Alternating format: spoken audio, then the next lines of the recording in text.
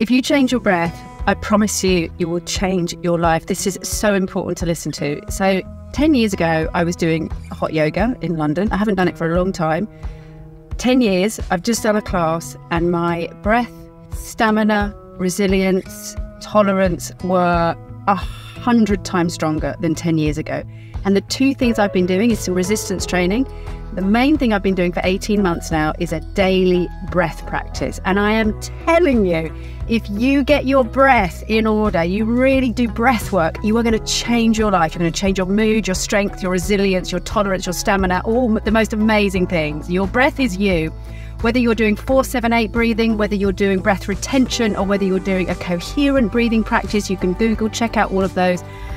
Change your breath, change your life. You will feel 10 years younger, I promise you. We've got a breath module in our 4D on demand at 4dhumanbeing.com. Check us out.